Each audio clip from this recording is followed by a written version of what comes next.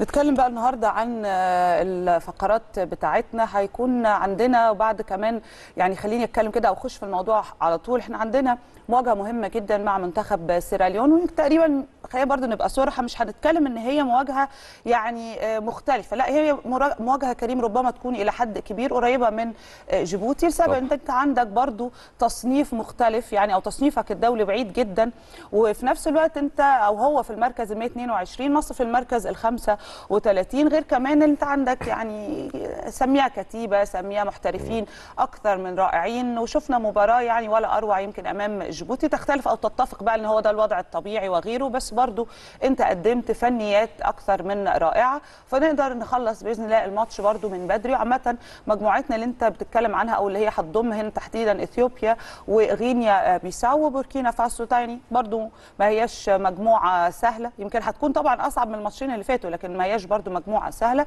نقدر نقول إن برضو أقوى المنافسين لينا هم بوركينا وغينيا بيساو وتعادل بقية طبعا المنافسين في أول جولة. بالتالي هيسهل علينا كريم المهمة بإذن الله للي جاي.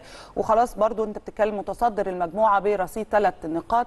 فخلينا دلوقتي بقى نستعرض مع حضراتكم برضو علشان يبقى الكلام كله أو تبقى الصورة يعني واضحة بشكل كبير. نستعرض تاريخ مواجهات مصر وسيراليون تحديدا. هم اتقابلوا مفروض مرتين. ده كان ضمن التصفيات المؤهلة لبطولة كأس أمم إفريقيا بنتكلم 2012 تعادلنا مرة وخسرنا مرة ثانية والنهاردة بقى بإذن الله يعني نقدر نلحق أو نحقق كمان أول فوز لينا على سيراليون. وبكرة بعد كده وبعده هتكون بقية الماتشات.